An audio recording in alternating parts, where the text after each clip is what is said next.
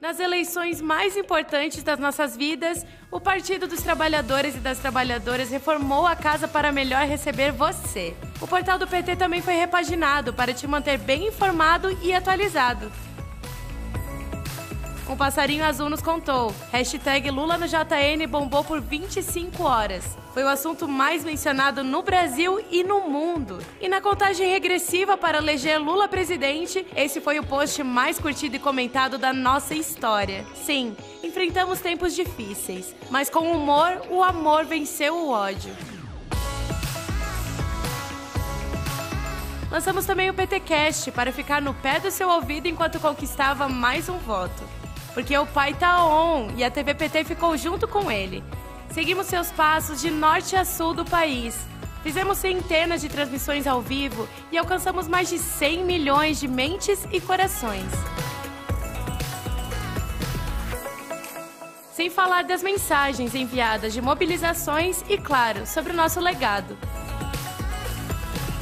Obrigada, militância do PT. Nada disso seria possível nessas eleições sem você. Aqui brilha um Brasil de estrelas. Um imenso beijo especial para a equipe de comunicação. Vou mandar um coraçãozinho para vocês. Ai, meu? Deus. Tá? Um coraçãozinho.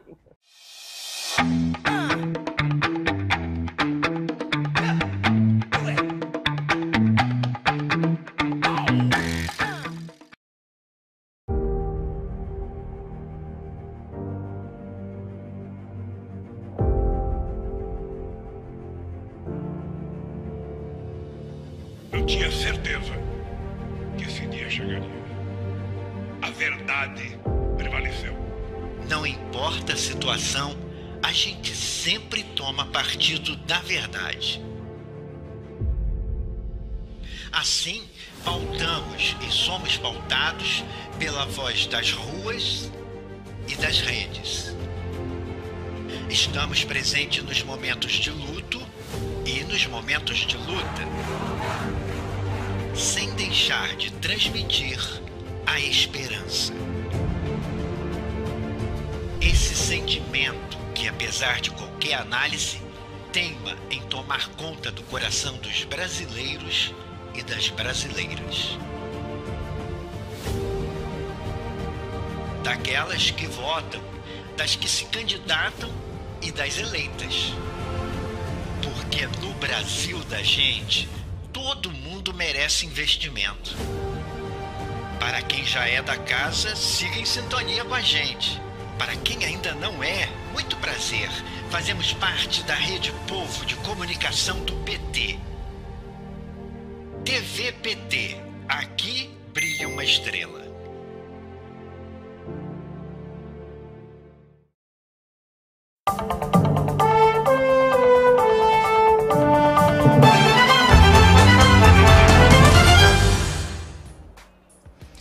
Quinta-feira, 9 de fevereiro de 2023, está começando agora o nosso jornal PT Brasil com muita informação e luta popular na sua manhã.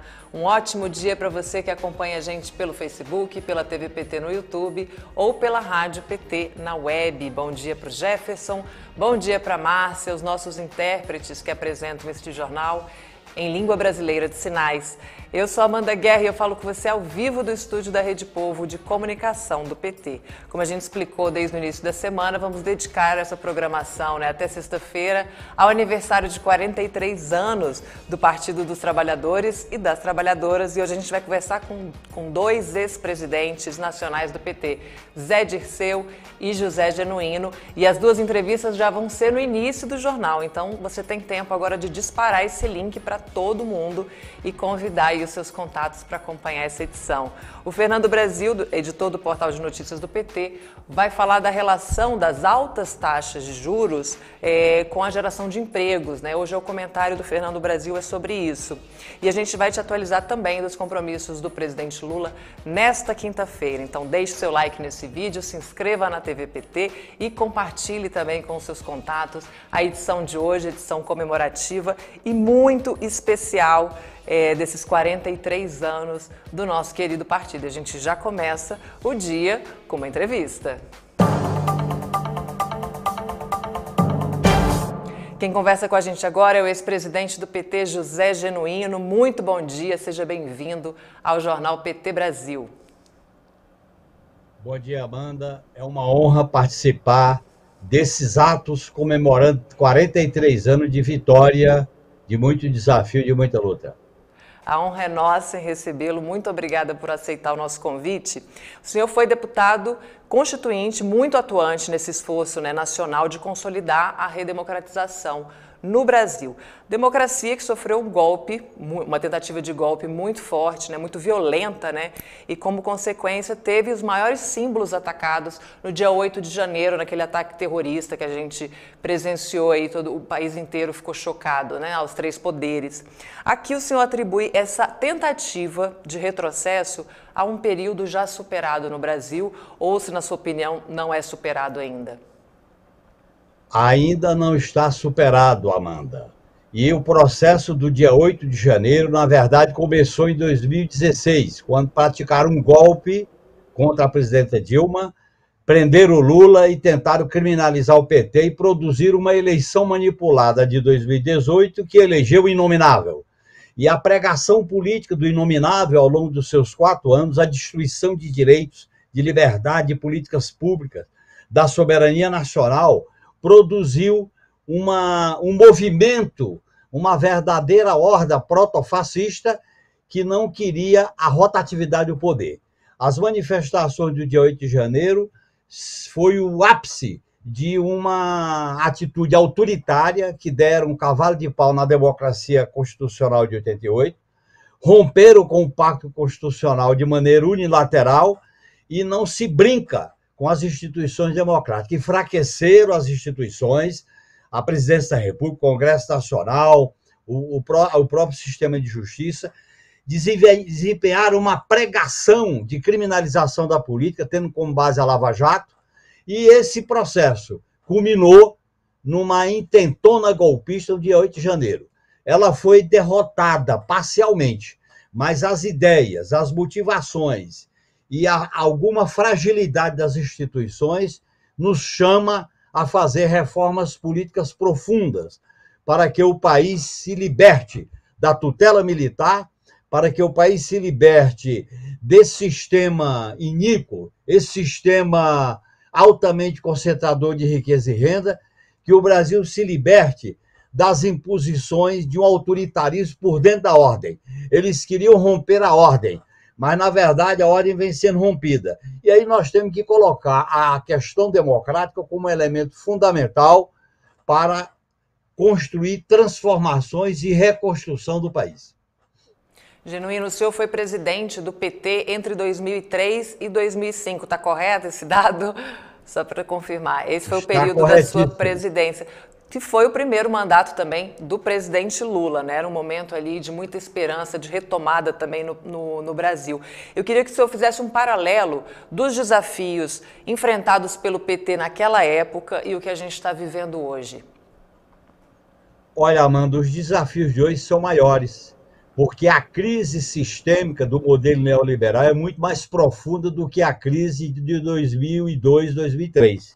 Em segundo lugar, não tinha uma direita violenta, agressiva, de, de, de natureza fascista, como está tendo agora, em que ele, eles jogam as ruas, ganham parcela da população desesperada, parcela do grande capital e da classe média preconceituosa, é, racista e que eles construíram um discurso da guerra cultural contra o politicamente correto, reatualizaram o conceito da guerra interna com a busca de um inimigo interno. Isso, esses elementos não existiam em 2002, 2003. Portanto, a diferença é que a crise agora é mais profunda. A capacidade de enfrentamento dela tem que ser maior, porque para nós do governo Lula, para nós do PT, reconstruir o país significa derrotar a extrema-direita, tensionar a agenda do mercado e garantir o atendimento das reivindicações populares, como Bolsa Família, salário mínimo, financiamento das políticas de saúde, educação e assistência social, soberania nacional e, principalmente, fazer uma reforma profunda no terreno tributário para que a riqueza possa ser melhor distribuída, não apenas a renda. Portanto, a situação é mais grave, a crise é sistêmica, as exigências são maiores diante do quadro de destruição que vem nesses quatro anos, a crise que já se antecipava em 2010, 2008, com a mudança das relações capital e trabalho, com a captura dos fundos sociais, com a, a captura e a privatização do pré-sal e a destruição do que houve de avanço na transição da ditadura para a democracia em matéria de política pública, como o SUS, política educacional, política de defesa das populações originárias, política de defesa e de combate a todos aqueles que pregam a intolerância, o maniqueísmo. Portanto, nós temos uma situação mais radicalizada, mais explosiva, que vai exigir muito do governo, do PT, e principalmente inovando na maneira de governar. 2003 nós governamos, eu era presidente do PT, basicamente numa relação Poder Executivo e Congresso. Agora nós temos que governar Poder Executivo, que é chefe de Estado e chefe de governo, Congresso Nacional, que é de maioria conservadora, nós temos que fazer um bloco à esquerda, e principalmente envolver a sociedade, os movimentos sociais, envolver as instituições alternativas no exercício da democracia participativa e da democracia consultiva e plebiscitária. Genuíno, o senhor também participou da fundação do PT há 43 anos e pelo partido foi eleito seis vezes deputado federal. Na sua trajetória dentro do PT, aí é uma pergunta muito pessoal mesmo, qual foi o momento mais marcante, na sua opinião, mais emblemático que o partido viveu nesses 43 anos? Dois momentos que eu chorei de alegria e chorei também de tristeza. O primeiro momento foi a campanha eleitoral de 89, Amanda aquela, aquela campanha eleitoral que colocou as identidades, que até hoje seus hinos são cantados. E o segundo grande momento, que eu me emocionei muito, foi no dia 30 de abril de 2022, a Paulista ser ocupada pelo povo, pela juventude, pelas mulheres, por todas a por parte importante da classe trabalhadora, na comemoração da grande vitória do Lula no dia 30 de outubro, em que ele derrotou a tragédia, a faça e barrou o caminho do descalabro, o caminho da violência, o caminho do protofascismo, o caminho do negacionismo, o caminho de reconstruir o Brasil em novas bases. Esses dois momentos, Amanda, têm uma ligação muito estreita entre si, porque coloca o PT diante de um desafio monumental. E esse desafio exige de nós reconstruir o país, transformar o país isso é uma tarefa gigantesca diante da destruição e diante da ofensiva, da, tanto da velha burguesia como da burguesia mais violenta, de querer domesticar o PT ou querer, como fizeram no passado, criminalizar e isolar o PT. Portanto, a história do PT nos dá elementos, energia e compreensão para vencer esse desafio e caminhar no fio da navalha. Maravilha, a gente está conversando agora com José Genuíno, ex-presidente do partido. O Alberto Quironi deixa aqui o carinho dele, grande genuíno, firme e forte na defesa da democracia. Inaldo Martins também diz, te dá bom dia. Diz, ele comenta que a mídia alternativa não chega à periferia é, e nem aos trabalhadores de aplicativo, por exemplo, e sugere aqui a produção de um documentário sobre isso é, para o partido aqui. Berenique também te saudando. Cláudia Lima te dá bom dia. Bom dia, companheiro José Genuíno. Nós, do Núcleo do PT no Congresso Nacional, estamos assistindo a sua importante e didática fala. Gilmar Mangueira também está te parabenizando aqui pela é, ampla análise desse cenário também e da trajetória do PT. E antes da gente se despedir, Genuíno, eu queria pedir que o senhor deixasse uma mensagem de saudação, de esperança e de motivação para a militância do PT, porque o melhor do PT é o petista e o pessoal aqui quer também uma palavra sua. O PT nasceu da esperança. A esperança é vermelha, como a gente viu no dia 1 de janeiro, com o povo brasileiro subir na rampa. O PT é luta, o PT é resistência, é não acomodação. O PT é atrevido e sabe navegar contra a maré. E o PT tem duas grandes forças, três grandes forças que eu queria ressaltar. Primeiro, a militância do PT. Segundo, o papel do companheiro Lula como esse símbolo de força para o futuro. E a história do PT. o PT marcou profundamente a história do Brasil. O PT recebe a influência do povo, influencia o povo. E eu quero dizer que vale a pena esse grande projeto ser fortalecido, construído. Temos que atualizar nossa linha política e mudar os métodos de organização para que o PT se coloque à altura de construir um polo à esquerda, neste momento que vai ser preciso a gente não errar no atendimento à população mais pobre, excluída, as mulheres, os indígenas, a comunidade LGBTQIA+, a nova classe trabalhadora, a luta contra o racismo e a luta pela soberania nacional e dizer que a democracia não é apenas um enfeite. A democracia tem que ser substantivada para melhorar a qualidade de vida do povo brasileiro. Um grande abraço e vale a pena essa luta que está materializada nos 43 anos do PT. Muito obrigada, Genuíno. Bom dia para você. Viva o PT, viva a democracia e viva o Brasil. Bom dia, obrigada. Viva o PT e um abraço à militância do PT.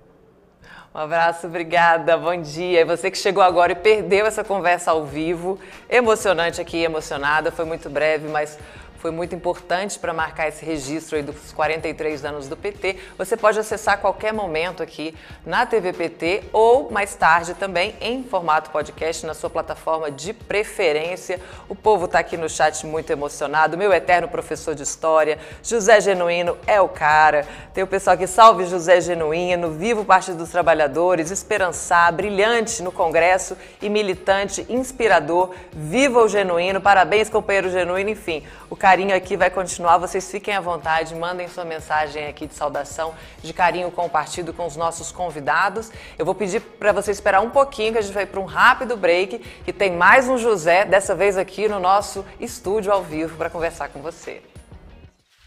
Você já conhece a Casa 13? É a plataforma de apoio à comunicação da militância petista de todo o Brasil.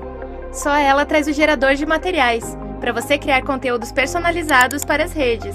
Para acessar, basta se cadastrar ou entrar com seu login e senha.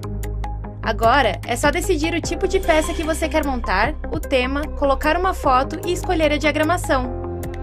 Seu conteúdo exclusivo está pronto para você brilhar. A Casa 13 tem também a área de downloads. São cards, jingles, logomarcas, materiais para imprimir, stories para Instagram e vídeos. E se você quiser conhecer melhor o legado do Partido dos Trabalhadores, vai lá em PT nos municípios. Basta escolher o estado e o município e ver as realizações dos governos Lula e Dilma cidade por cidade. Ah, na Casa 13 você também encontra informações e notícias exclusivas para ficar por dentro de tudo que o PT tem feito de bom pelo país. Só não esquece de atualizar o seu cadastro. Assim, o PT pode entrar em contato e você fica por dentro de todas as novidades. Casa 13 conteúdo exclusivo e informações em primeira mão para você. Voltamos agora com o nosso convidado aqui no estúdio. Seja muito bem-vindo, Zé Dirceu, ao Jornal PT Brasil. Eu que agradeço. Bom dia. Bom dia a todos e a todas. A gente vai conversar agora também sobre esse momento que o país está vivendo, né? Que você foi é, testemunha da fundação do PT, da redemocratização do país, da ditadura. E o Brasil andou flertando de novo com o fascismo, né? Quando elege Bolsonaro presidente e que chega ao poder graças à antipolítica, né, à criminalização da política. E eu gostaria de um comentário seu sobre a relação entre essa criminalização da política e o momento que o país vive hoje, né, todas essas consequências, e que explicasse também o papel do PT nesse contexto em defesa da atividade política, da democracia e dos direitos do povo. E não é a primeira vez na nossa história que a criminalização da política é um instrumento das classes dominantes, da direita, dos conservadores. Vamos lembrar que o Jânio Quadros ia varrer o Brasil da corrupção. Hoje isso soa ridículo, porque o Jânio ficou marcado pela corrupção. O Collor foi outro exemplo da caça dos marajás. E o golpe de 64, quando foi dado, era contra a corrupção e a subversão, ligando-se o golpe 74 e agora o bolsonarismo com a questão religiosa, com o conservadorismo, com a questão moral dos valores morais e com a defesa da integração do Brasil né, à hegemonia norte-americana e ao neoliberalismo. Não é de hoje, portanto, que o tema da criminalização da política, do uso da corrupção, e a Lava Jato foi o maior exemplo, começou com o mensalão? Já tinha tido antes o famoso caso Valmir Diniz, esse foi o instrumento que foi construído para fazer o golpe parlamentar jurídico que fez o impeachment da presidente Dilma e o processo sumário político de exceção que levou à condenação e à prisão do Lula. Então, o país viveu uma nova fase, porque também é outro mundo. Nós não estamos vivendo em 64, nem estamos vivendo em 2003, né? que há um conservadorismo mundial, uma direita mundial, e esses interesses confluíram com o apoio do PSDB, do DEM, do MDB, para fazer o impeachment e apoiar a Lava Jato, que depois se voltou contra eles. E hoje está mais que provado que era um projeto político para retirar do governo o PT, que termina por vencer a quinta eleição, que é um fato inédito na história do Brasil, que mostra a força da classe trabalhadora brasileira. Nós já éramos alternativa de governo em 18, porque com o Lula preso, com toda a repressão que nós sofremos, porque o PT sofreu repressão, não só política, jurídica, inclusive nós não podíamos sair nas ruas com esse vermelho, com o boné do PT, da CUT, do MST, e o Haddad teve 32 milhões de votos. O que demonstra que a classe trabalhadora brasileira, que assumiu o petismo a partir de 89, porque ela votou no progressismo do PTB, que era um partido nacionalista, desenvolvimentista, de 46 e 64. No MDB, que era o partido contra a ditadura, de 74 e 89. E votou no PT a partir de então. E vamos lembrar que ela escreveu na Constituição de 88 aqueles direitos que ela lutava, sociais, políticos, viva a democracia, desde 1917, da primeira grande greve que criou a primeira central sindical. De 17, nesses últimos 100 anos, a classe trabalhadora veio crescendo, apesar da repressão, que a metade da República ela viveu em ditadura. Várias vezes ela foi reprimida, mas ela tem esse partido e essa liderança que é o PT e o Lula. E entre 95 e 2002, é, o senhor estava na presidência do partido, né, participou ali como presidente da campanha de 98, da campanha vitoriosa de 2002, na primeira eleição do presidente Lula. O que, que mudou de lá para cá, na sua opinião? Como é que, é que você faz esse paralelo entre esses dois momentos do Partido dos Trabalhadores, que só cresceu, passou por diversas crises e está aí com uma quinta eleição presidencial né, vitoriosa? Bem, o PT é uma construção da luta política e social. Né? Principalmente da luta política e social dos trabalhadores, das classes médias progressistas. Né? O PT, portanto, veio aprendendo e organizando o povo trabalhador. Vamos lembrar que nós ganhamos a primeira prefeitura né? lá em Capuí, depois de Adema, fomos aprendendo a governar, eleger vereadores, deputados estaduais, deputados federais, ganhar governos, como foi o caso do Espírito Santo, Rio Grande do Sul, Brasília. E fomos também formando a classe trabalhadora fundação da CUT, da Central de Movimentos Populares e o próprio MST. Esse movimento chegou em 2002 porque o PT aprendeu a governar, aprendeu a fazer alianças e se transformou numa instituição que tem uma simbologia, ideias, forças. Né? Que se confirmaram na Constituição de 88 e se confirmaram nos governos do Lula e da presidente Dilma. Mas o mundo de hoje não é o mundo de 2003. Veja bem, hoje há uma emergência ambiental, e o caso do Amazonas, há uma emergência, no nosso caso, indígena, por causa do genocídio que foi praticado, há uma transição energética certo? e há um esgotamento certo? Da hegemonia norte-americana, um novo mundo, com a China, com a Índia, com a Rússia, com o Irã, com a Turquia, e o Brasil é uma potência média. O Brasil é um país, o quinto país em território, sétimo em população, um dos dez maiores economias, é autossuficiente em alimentos, é autossuficiente em energia, é um país desenvolvido tecnologicamente, tem indústria de base, tem um dos maiores mercados internos do mundo, tem a América do Sul para integrar e tem uma presença e uma voz no mundo, até pela liderança do presidente Lula. Então, aqui as tarefas que nós temos agora são, primeiro, a transição energética, e é ambiental. Segundo, a reindustrialização do país. O Brasil não pode mais ser um país agrário, de exportação de minerais, de exportação de alimentos ou de turismo, como é a Austrália e Nova Zelândia, pela sua própria dimensão dos problemas que ele tem. Qual é o principal problema do Brasil? Concentração de renda. Esse não mudou. Só foi agravado. 1% dos brasileiros, 2 milhões tem um terço da renda, 20 milhões tem 50 e outros 100 milhões não tem 24, 25. E 20 milhões não tem 1% da renda. Agravado pela estrutura tributária que concentra a renda e pelos juros altos que expropria a renda da classe trabalhadora. Então nós temos uma tarefa democrática, porque houve uma tentativa de golpe, há uma direita, uma extrema-direita fascista, né, que usa métodos golpistas. Né. Há problemas como o problema religioso, é, do neopentecostal, do fundamentalismo religioso, certo? Uhum. E há tarefas como a da igualdade de gênero, racial, certo? Da luta contra a homofobia e principalmente a questão democrática. Nós cedo ou tarde o Brasil terá que fazer uma reforma política, né? porque a estrutura política institucional, eleitoral que nós temos, entendeu? É única só no Brasil e ela está viciada. Ela não contribui para a participação popular e não contribui para expressar a vontade popular. Porque quando você tem um mínimo de oito deputados, mais 70, você não tem representatividade.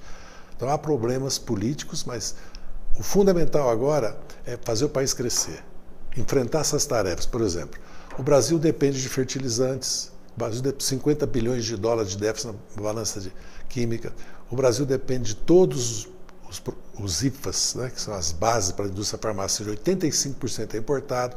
O Brasil deixou de exportar serviços, por isso que nós estamos falando da criação do Exibank. Nós temos que retomar o papel dos bancos públicos, nós temos que retomar o papel do setor energético estatal. Então, são tarefas com a prioridade do combate à fome. Então, se você olhar, é, 2003 tem pouco a ver com 2020 23. As tarefas são maiores e mais complexas, porque nós ganhamos a eleição com uma frente ampla de partidos de centro-direita e até setores da direita, apesar que nós temos um bloco de esquerda. E nós temos a tarefa ainda de reorganizar o movimento sindical popular, o próprio PT, os partidos todos que são de esquerda, porque nós estamos vivendo outro momento. É verdade que nós sobrevivemos, o PT é, é, um, é, fantástico nós lembrarmos tudo que aconteceu de 2013 a 2019 e olharmos o PT hoje. Isso foi graça né, à liderança do presidente Lula, à construção que nós fizemos nesses 40 e tantos anos, né, a direção do PT atual, que a presidente Gleice comanda, que enfrentou essa conjuntura.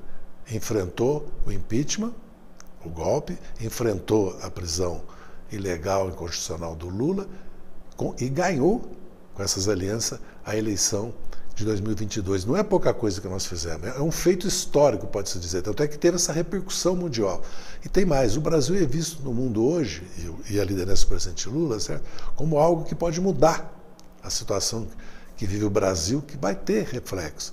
Vamos lembrar também que da Colômbia até a Bolívia, tirando o Uruguai, Paraguai, Argentina e Brasil, houve em cada país levantes populares. Uhum e grandes vitórias eleitorais. Inclusive, agora houve uma grande vitória eleitoral municipal no Equador, na Frente Cidadã, que o Rafael Correa liderou, uma derrota do presidente Lasso. Então, isso mostra que está mudando toda a América, como a vitória no México e o governo do André Lopes Obrador, como a vitória em Honduras. Então nós temos um novo quadro também e a integração sul-americana é determinante para o próprio projeto de desenvolvimento nacional. A grande diferença e a grande questão brasileira é a seguinte: o Brasil terá um projeto de desenvolvimento nacional soberano, democrático, popular, de justiça, de igualdade, ou o Brasil se alinhará, certo?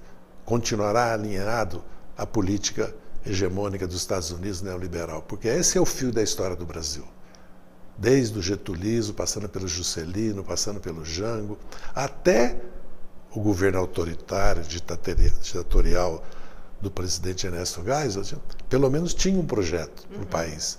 Agora, de lá para cá, as elites brasileiras parece que abandonaram. Felizmente, muitos setores empresariais, hoje mesmo eu vi a notícia que a Fé Comércio do Rio de Janeiro diz que precisa sim baixar o juro.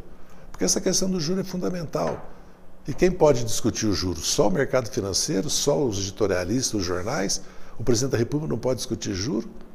Os parlamentares? O Congresso Nacional deve realmente convocar o Alberto Campos e deve realmente abrir um debate nacional sobre esse problema da estrutura tributária e de juros, porque são esses dois grandes problemas do país. E o senhor estava ali na fundação do PT também, né, construindo esse partido ao lado do presidente Lula e de tantos outros petistas históricos. E pelo partido foi deputado federal, deputado estadual, foi ministro da Casa Civil do Lula. E aí chega aquele momento da, da escolha pessoal aí de um momento do partido, um momento histórico dentro do PT que te marcou mais, que você não vai esquecer nunca. O momento que eu subi junto com o presidente Lula, tive esse privilégio pela pelo protocolo, a rampa do Palácio do Planalto para o Lula tomar posse. Por quê? Porque, como eu disse no meu discurso de posse, comigo subiram meus companheiros e companheiras, a minha geração de 68 que lutou contra a ditadura e muitos deram a vida, foram assassinados, torturados, deram a, deram a vida pela democracia. Veja como é presente a questão da democracia no Brasil. Né? Vamos lembrar que nós tivemos golpe de Estado a tentativa em 50, em 54, em 55, em 61, o golpe de 64, a tentativa que houve contra o presidente Geisel, né, de, de um general do Exército, e agora a tentativa bolsonarista. Então, existe um problema no Brasil, que é o problema militar, que felizmente o presidente Lula, como até o editorial do Jornal Estado de São Paulo afirmou, prevaleceu, pela decisão dele, o poder civil sobre o poder militar. É preciso, para a democracia brasileira se consolidar, se ampliar, porque ela precisa ser ampliada, reformada, que os militares voltem para os quartéis, para a sua profissão, se dediquem à defesa nacional e à soberania, que se supere essa questão da sombra da tutela militar no Brasil. Sem isso, não haverá democracia no Brasil. Como não haverá democracia no Brasil se nós não resolvermos a questão da desigualdade, da pobreza, a questão social. Com certeza. E a gente tem aqui também muita gente é, comentando aqui no chat, né? Grande Zé Disseu, maior, maior respeito e carinho a Zé Disseu, diz aqui a Vera, Alberto Quirone, Berenique mandou um lindo e maravilhoso José Disseu. Eliana diz aqui também, com a mensagem, José Disseu, um dos maiores estrategistas da história do Brasil, parabéns. Paulo Roberto Carneiro também te deixa aqui um bom dia, deixa o carinho. A Isabela Damilano diz parabéns, Disseu, pelos 43 anos de boa luta no Partido dos Trabalhadores. Viva o PT, irmão, companheiro, sempre mostrou ser um grande guerreiro, a luta continua. O Rafael Oliveira também diz que Zé Dirceu é elite. Maria Fortunata dá bom dia aqui também. Entrevistados de excelência estão de parabéns. O povo está muito animado aqui, que a nossa militância é muito animada mesmo, muito leal, né? Generosa. Fez bonito generosa demais. Generosa. É mais do que eu mereço. muito querida. Não, o PT é muito importante. O PT é uma construção coletiva. Certo? Lógico que o Genuíno e eu, tantos outros, o Berzoino, o Tarso Geu, o Guxiguem já nos deixou, Marco Aurélio Garcia.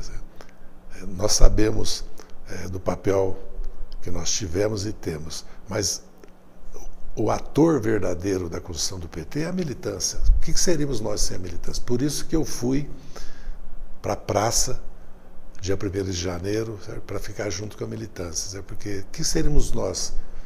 Eu fui eleito deputado de São Paulo, sempre falo, é, com 500 e tantos mil votos, mas não fui eu que, fui, não fui eu que fiz esses votos, foi a militância do PT que me deu esses votos. Então, sem a militância do PT, por isso que o Genuíno colocou, porque eu assisti, da reestruturação do PT, que já vem sendo construída pela nossa presidente, na questão das redes, da formação política, a reorganização do partido para os novos tempos. É uma tarefa fundamental.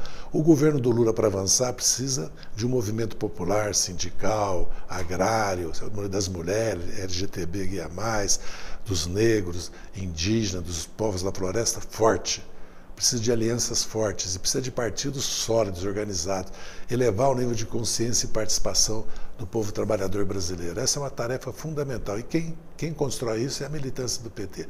Agora, precisamos também democratizar o PT. Nós precisamos usar as redes para fazer consultas, para votar no PT. Por que não?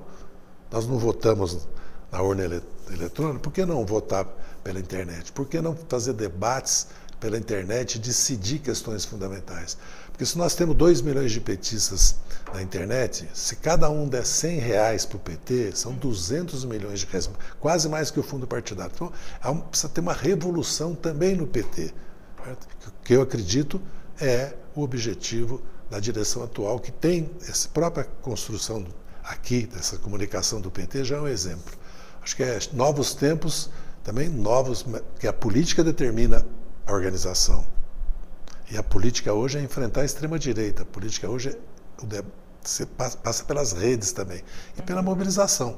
Vamos lembrar que na campanha eleitoral fomos nós que fizemos grandes mobilizações de ruas, não foi o bolsonarismo. Então nós temos força, nós somos capazes. E veja a Europa agora, as grandes mobilizações na Europa, as greves na Grã-Bretanha, as greves na França, as mobilizações na Itália, na própria Alemanha. Então é possível que nós podemos de novo mobilizar o nosso povo para fazer os avanços do governo Lula. E aqui o, o, o, o nosso telespectador aqui, o Daniel Martins, pergunta: José Disseu, você está ao vivo? Manda um abraço aqui pro, pro Daniel Martins, para ele saber que você está ao vivo aqui com a gente. Ô, Daniel, estou em Brasília, porque eu moro em Brasília desde 2013. Estou aqui no estúdio com a Amanda, certo?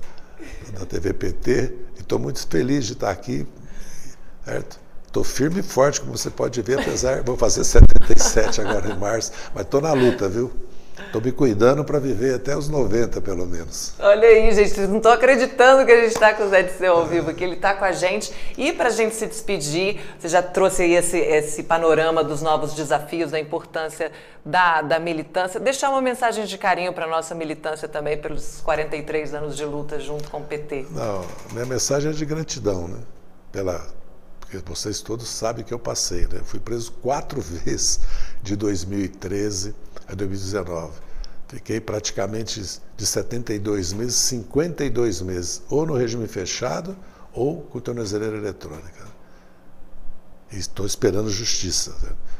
É, eu sei da importância que foi o apoio e a solidariedade de vocês. Né? A minha mensagem é: vamos comemorar dia 13, né? porque é dia 10, mas vamos comemorar dia 13, porque por causa do nosso número, em todo o Brasil, esses 43 anos do nosso PT. Né? E vamos nos organizar para defender, apoiar e fazer avançar as nossas propostas, os compromissos que o presidente Lula assumiu, que ele está colocando em prática, que depende da nossa luta, da nossa presença e do nosso apoio. Então a minha mensagem, como sempre, é de gratidão até pela generosidade da militância de vocês, mas também de luta e combate. Vamos à luta, vamos ao combate. Vamos ao combate. Viva o PT, viva a democracia. Muito obrigada. Eu que agradeço pela entrevista, pela presença. A todos, a todas. e você não sai daí, a gente vai para um rápido break e volta com o Jornal PT Brasil. Para começar o dia em boa companhia, buscar notícias do PT. Tudo bem, buscando notícias do PT. Quarta-feira, 22 de junho. Você está ouvindo notícias do PT. Acordou sem tempo? A gente atualiza enquanto se desloca ou se exercita. Gilmar Tato, bom dia, secretário. Bom dia, Amanda. Bom dia a todos os ouvintes. Não gosta de almoçar sozinho? Olha quem pode convidar para estar com você. Eu tenho orgulho de passar para a história como o presidente que mais criou emprego. Bom dia a todos os companheiros e companheiras que estão aqui. Achou muita informação? Não se preocupe, na sexta a gente resume. Eu sou Thais Ladeira e esse é o 13 Minutos, podcast semanal de notícias PTCast, a voz do Partido dos Trabalhadores e das Trabalhadoras. Ouça pelo nosso site ou principais agregadores.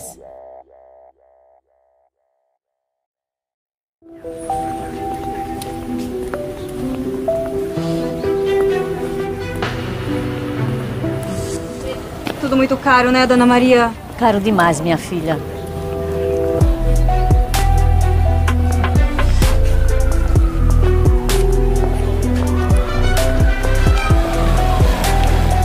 Sem vaga na escola, Jadiel? Só ano que vem.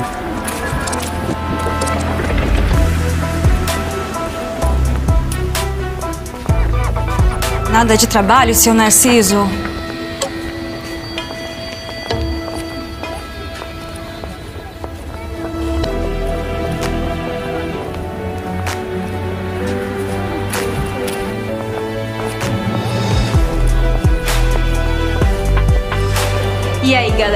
Difícil? Tá a fim de mudar? Nossos problemas são diferentes, mas são os nossos problemas. Por isso, é hora de unir forças e formar na sua cidade, no seu bairro ou comunidade, um comitê popular de luta, vinculado ao Partido dos Trabalhadores. Juntos, temos o poder de mudar as coisas para melhor. Venha mostrar a todos que não andamos sozinhos. Comitê Popular de Luta do PT. Acesse nossas redes sociais. Você faz a diferença. Emocionados, né, meus queridos? Eu também fiquei aqui emocionada com essa presença aqui no estúdio. Tem muita mensagem ainda aqui, ó, da Best de Brasília. Querido Dirceu, um filme passa em minha mente, muita emoção, alegrias, tristezas, mas com esperança sempre. A Lene diz aqui: nós temos grandes. Salve, querido Dirceu, Adriana Araújo, gigante Dirceu. Enfim, tem muita mensagem, gente. Eu vou fazer o seguinte: eu combinei com ele aqui também, que eu vou juntar tudo e encaminhar para ele para ele poder ter acesso a esse carinho de vocês. Então, quem ainda não mandou mensagem para o Zé Disseu, pode mandar, porque o Chat Democracia continua aberto para você mandar a sua saudação para o PT, para os nossos ex-presidentes. A gente faz esse, esse trabalho para você, para encaminhar depois, para eles terem acesso. É, ao carinho de vocês também, né? Tão merecido, é tão bom, como comentou o Zé Disseu, a, a militância tão generosa, né? Tão leal. E ele quer muito receber essas mensagens.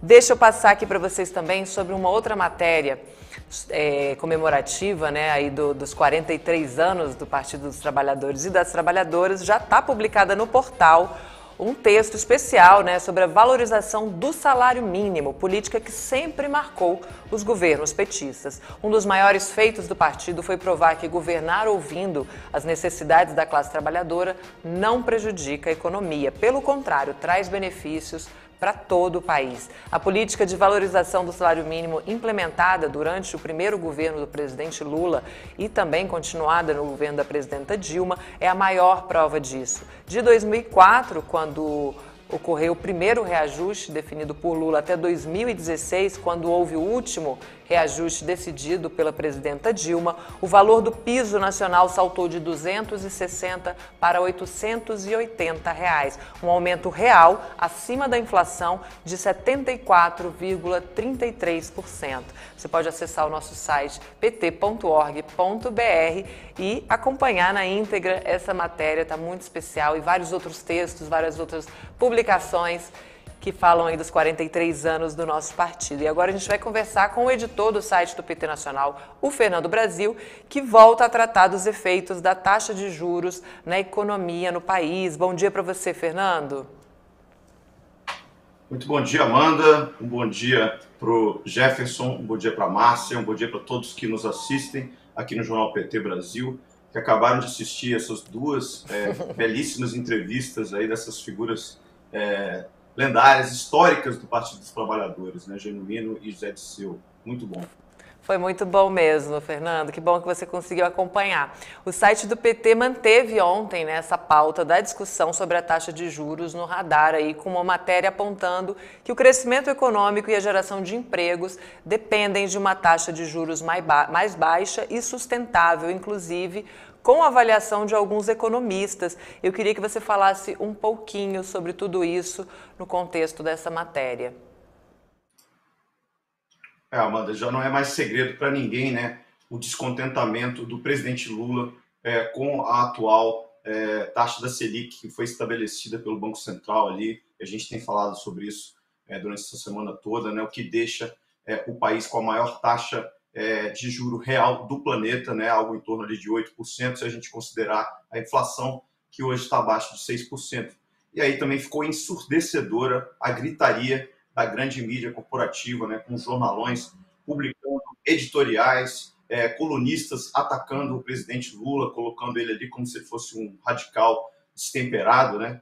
É, é, por isso a matéria aborda principalmente o fato de que Lula não está sozinho nessas críticas que ele tem feito ao Banco Central, ou seja, isso não é um capricho do presidente. Existem economistas que têm feito, como você disse aí, um contraponto que é fundamental, é, um contraponto à mídia, né, dentro dessa discussão, avaliando que a taxa de juros atual não só não teve o efeito de segurar a inflação durante o governo Bolsonaro, e a gente também falou disso aqui ontem, como também vai atrapalhar a gestão atual na execução de políticas sociais e medidas de estímulo à economia, como o acesso ao crédito é, para as pequenas e médias empresas, além das famílias, claro. A matéria começa lembrando que a opção por um projeto voltado para a geração de emprego, né, para a erradicação da fome, o aumento real do salário mínimo, você acabou de comentar isso na matéria, que é uma conquista das administrações do PT, né, a oferta de escola de qualidade para as nossas crianças, isso tudo foi definido no final de 2022 com a vitória de Lula nas urnas, ou seja, o povo brasileiro não votou para ter juros na estratosfera e para o governo continuar transferindo bilhões de reais para o rentismo sob a forma de pagamentos é, dos juros da dívida pública, que é um dos efeitos aí que a gente vê nessa Selic é, a 13,75. E aí, nesse debate aberto pelo presidente Lula sobre a necessidade de o país reduzir é, a taxa de juros para que o governo possa voltar, possa começar a estimular a economia, investir, né, garantindo o consumo sustentável das famílias, né, que hoje está impossibilitado pela falta de acesso ao crédito, cresceu aí a trincheira dos economistas que defendem que essa taxa de juros, como eu falei, como está hoje, não é sustentável, tanto do ponto de vista social e ainda mais econômico. E pior, não foi eficaz para evitar a superinflação causada pelo ministro banqueiro, ex-ministro banqueiro Paulo Guedes. A matéria vai trazendo informações de que a atividade econômica vai sendo inibida pela pressão dos juros, impedindo ou reduzindo os efeitos da execução de políticas como o Bolsa Família, a construção de escolas, a construção de hospitais, né, é, obras de infraestrutura em rodovias, para a gente ficar aqui apenas em alguns exemplos desses projetos. Aí a matéria destaca a avaliação de economistas como o presidente é, do Instituto Lula, o Márcio Postman, é, e Luiz Carlos Bresser Pereira, é, que participou ali ativamente das discussões macroeconômicas em torno da criação do Plano Real. Então, ali no começo dos anos 90. Né? Então, o Bresser foi, deu, é, deu uma entrevista à TV 247 e, e com declarações muito contundentes né, é, de que a atual taxa de juros real, que está aí em torno de 8%, como eu falei, ou seja, é a diferença para quem não se lembra, para quem não assistiu ontem o programa, é a taxa de juros nominal e a inflação e isso é simplesmente, nas palavras do economista, um escândalo. Ele defendeu que uma taxa aceitável seria algo ali em torno de 2 ou 3% no máximo e considerou que falta ao corpo técnico do Banco Central é, uma prudência e uma moderação ao tratar dessa questão. Ou seja, falta a Campos Neto a compreensão de que ele não governa o país, ou seja, ele não é o presidente do país, né? De que o próprio Bolsonaro é, a quem ele apoia, já não ocupa mais o Palácio do Planalto, felizmente. Né? Então, além de considerar que as críticas de Lula estão corretas, Bresser afirmou categoricamente que a taxa Selic impede o crescimento econômico ao mesmo tempo em que aumenta o déficit fiscal. O governo, então, em vez de gastar, é, como eu falei, em educação e saúde, em obras, né, gasta em juros para os rentistas, e isso não faz o menor sentido, apontou o economista. Já o Márcio Postman é, trouxe a realidade dos números para a economia brasileira. Para cada ponto percentual de aumento dos juros, a dívida líquida do setor público cresce cerca de 38 bilhões de reais. E aí ele faz uma conta de padeiro, né? Vocês lembram aqui que eu comentei ontem que a Selic aumentou 11,75 é, pontos percentuais é, entre 2020 e 2022, aquele período ali, é, quando o Campos Neto ganhou a autonomia do Banco Central. Né? Então, houve um salto aí de 2%, para 13,75%. Vocês lembram disso? Pois é, o impacto dessa dívida pública, segundo o Postman, foi de 446 bilhões de reais, o que o economista classifica como um gasto completamente improdutivo. Então, ficou provado que nessa discussão o Lula tem aí um novelo de argumentos é, a favor dele e, claro, da maioria do povo brasileiro, que foi quem escolheu esse projeto é, é, para o país, Amanda. Com certeza, o povo está indignado aqui. A Jeanette Marzola, fora, fora Campos Neto, fracasso no combate à inflação, precisamos de crédito com juros mais justos. É, essa, Rogério concorda que com essa taxa de juros ninguém quer arriscar em empreender, né? Não tem menor condição. E quando Lula demonstra ali contrariedade a essa taxa, a imprensa trata como capricho, né? E diz que ele está isolado aí nesse discurso. Mas ontem mesmo esse assunto entrou na pauta do Conselho Político da Coalizão de Governo e é uma prova de que o assunto é de extrema importância para o crescimento do país. Eu queria que você falasse um pouquinho sobre esses desdobramentos dessa discussão de ontem. Pois é, é, Amanda, o Lula está realmente pautando essa discussão em nível nacional. Né? A primeira reunião do Conselho Político da Coalizão que conta com parlamentares da base aliada, ocorreu ontem em Brasília, com a presença do presidente Lula. E adivinha qual foi um dos assuntos ali tratados nessa reunião? Pois é, bingo, né? A taxa de juros abusiva praticada pelo Banco Central. Segundo o líder é, do governo na Câmara, o deputado José Guimarães, do PT do Ceará, o país não tem condições, não pode conviver com as atuais taxas de juros praticadas. De acordo com o deputado, essa questão nem estava na pauta de, de, discussão dessa reunião, mas chegou-se a um consenso de que o país precisa realmente, de fato, discutir esse assunto. Segundo Guimarães, o assunto não é proibido de jeito nenhum e a autoridade monetária também deve contribuir com o projeto que foi vencedor das eleições, é aquilo que eu tenho dito aqui, né, que foi o de Lula e o seu programa de reconstrução nacional. Do mesmo modo, o líder do governo no Congresso, o senador Randolph Rodrigues, citou as projeções né, de crescimento para esse ano de 2023, ali até dezembro, né, de 0,77%, ou seja, a gente está falando aqui de menos de 1%, para argumentar que, de fato, o país não consegue ir para lugar nenhum desse jeito, né, que não dá para se resignar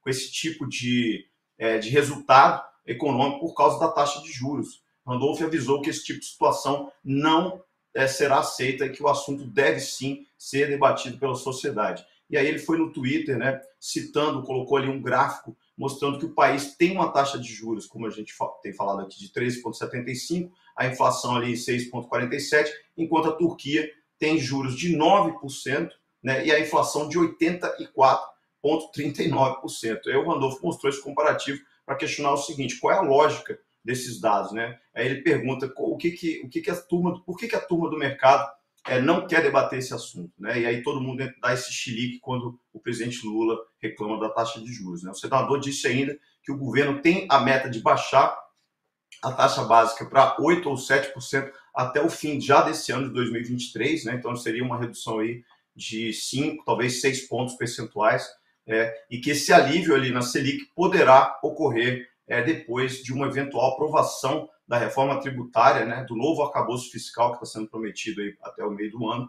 é, que está sendo desenhado pelo Ministério da Fazenda, e da medida provisória que reestabelece o voto do desempate de desempate em favor do Ministério da Fazenda nos julgamentos ali no âmbito do Conselho de Administração de Recursos Fiscais, o CARF. É, e ainda sobre a Selic, essa discussão não vai acabar aqui, como a gente já, já, já é, anunciou isso aí, a gente já previu. Né? Na terça-feira, o deputado federal Lindbergh Farias, do PT do Rio de Janeiro, protocolou na Câmara um requerimento para convocar o presidente do Banco Central, Campos Neto, para que ele explique a condução da política monetária e é, também um erro contábil no fluxo cambial que foi apresentado pelo Banco Central no ano passado. Ele se referiu às estatísticas é, do dinheiro que entra e do dinheiro que sai do país em operações é, de comércio exterior, que foram divulgadas em janeiro pela instituição com um erro, pasmem vocês, de 12 bilhões de dólares. É isso mesmo, 12 bilhões de dólares. Ou seja, dá praticamente um bilhão é, de dólar por mês, né? Levando em consideração o câmbio, isso aí dá mais de 60 bilhões é, é, de reais, né? Ou mais, acho que até 70, 80.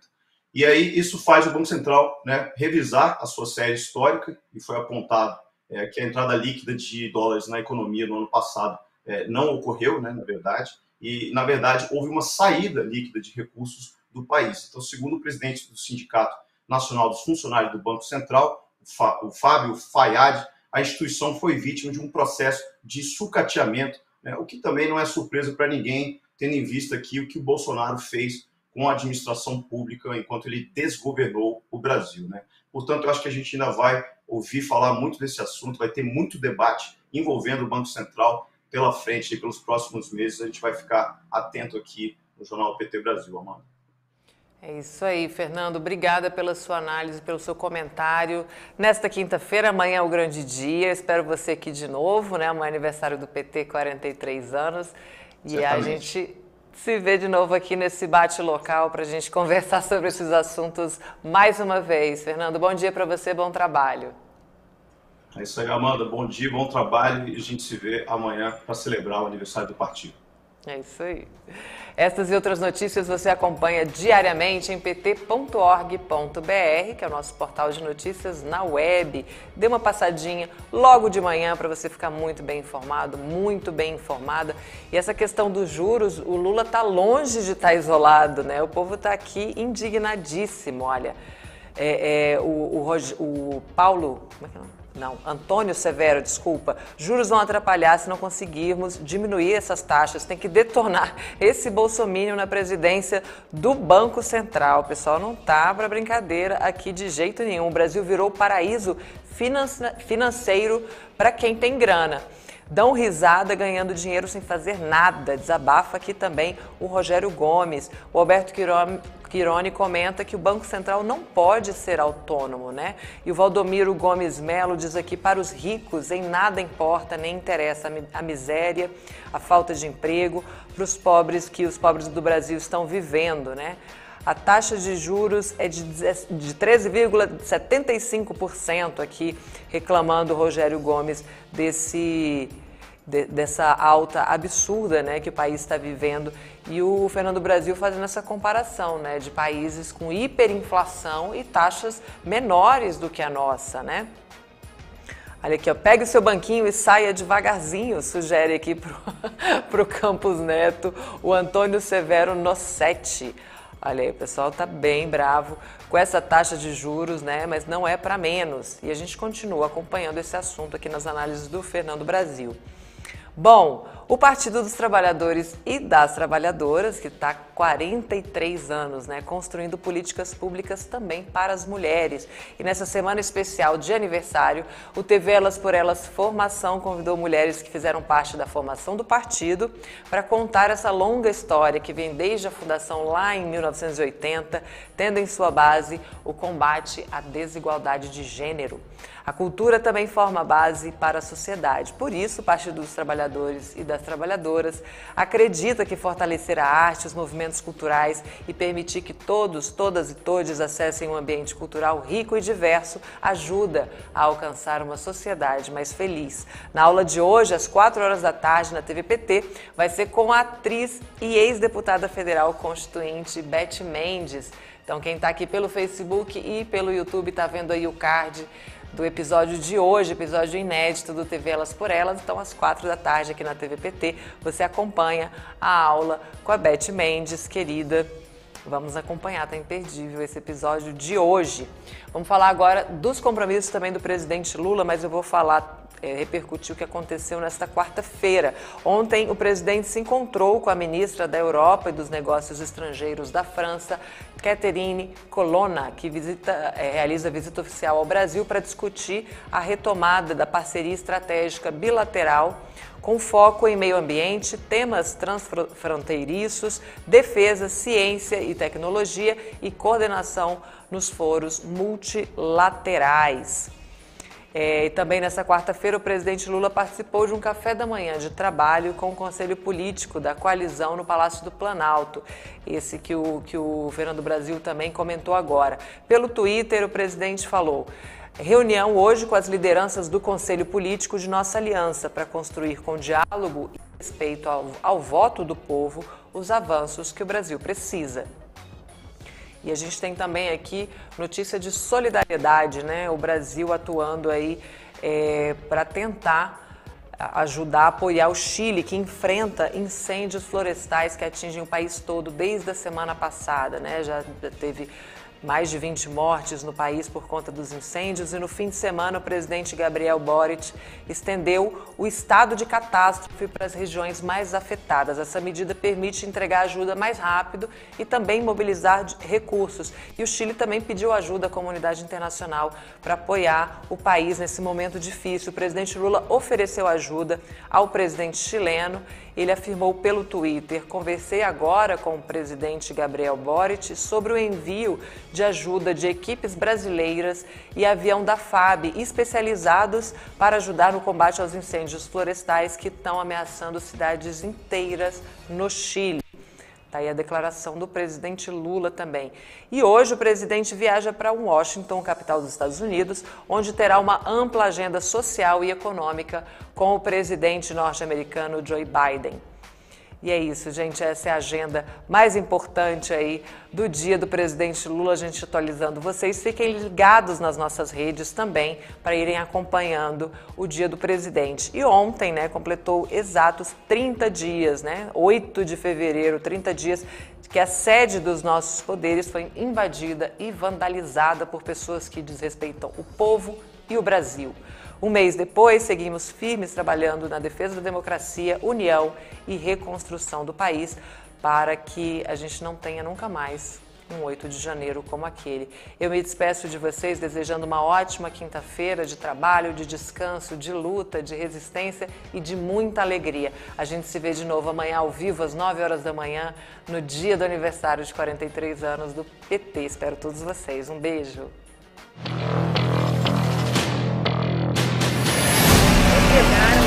Do Planalto. do Planalto, arremessados o espaço do Planalto destruído. Repetição, Comissão dos Estados Unidos, Antônio, há dois anos. Foi muito difícil para vocês e para mim conquistar a democracia nesse país. Nós não vamos permitir que a democracia escape das nossas mãos. Todas essas pessoas que fizeram isso serão encontradas e serão punidas.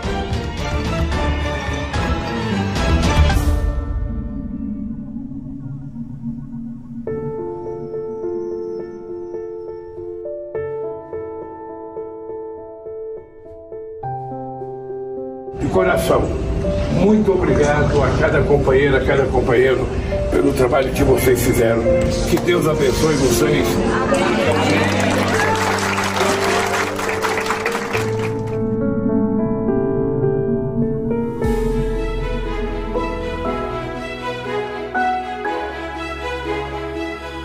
A sociedade brasileira ela está precisando de um pouco de paz. Eu quero reconstruir o direito das pessoas viverem sabe, com tranquilidade. É para isso que eu ganhei as eleições, para recuperar o processo civilizatório desse país,